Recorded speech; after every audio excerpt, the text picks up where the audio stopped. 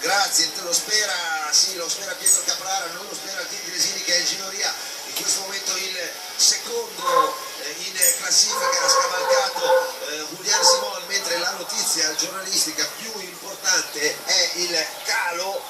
eh, improvviso, repentino e abbastanza brutale di Paul Spargarò che sta